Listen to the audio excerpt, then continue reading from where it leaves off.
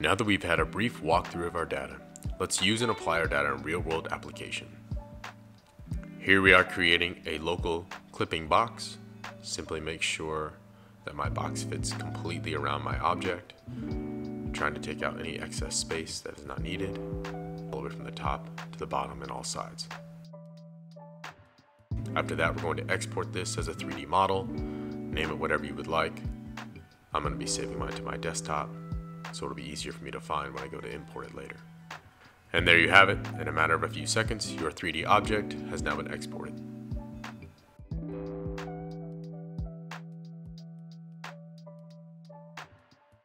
Here I'm going to import it, rotate it accordingly, size it if you need to. I'm going to keep my scale at a single one-to-one -one factor. Import my object in, and there you have it. We can compare and can see that is the same exact replica of the box that was actually exported.